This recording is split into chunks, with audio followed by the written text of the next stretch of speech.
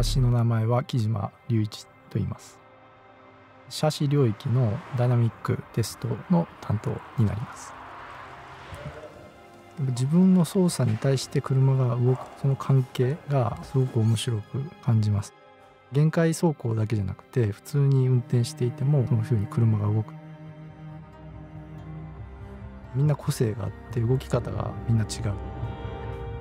エンジニア的にもどういうところにその要素があるのかっていうのを知るのが本当に面白い。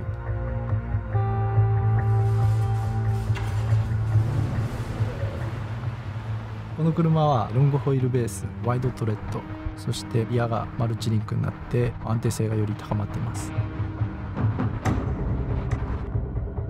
旋回性能の向上これにより1つずつのコーナーで少しずつタイムアップを果たしていて全体で大きく現行を上回る車両になっています。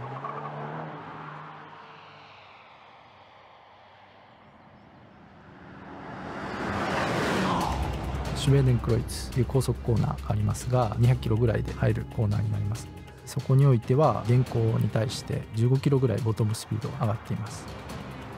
アーレンベルグに向けての減速では少しナーバスな動きになりがちです。しかし新しいタイプ R はより自信を持ってブレーキを踏め安定して減速できます。メッツゲルスフェルドの先150キロぐらいの中速コーナーになります。ここにおいても安定性が高いことでボトムスピード10キロから15キロぐらい上がっています。2キロアウトコーナー190キロ程度の高速コーナーになります。車体の安定性空力性能によって旋回スピードを高くできています。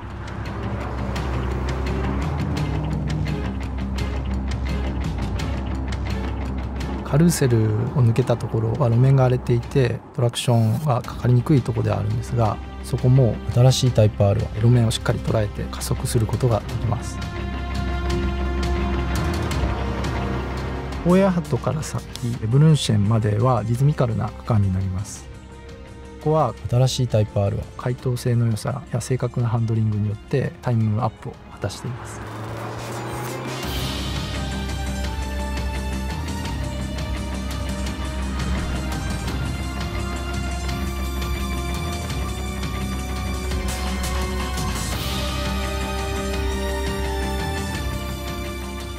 フランツガルデンから先の高速セクションにおいては車体の安定性空力特性によって安定した形でコーナーを抜けていくことができます。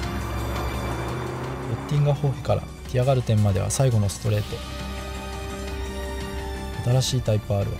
先代よりも先行して走ります。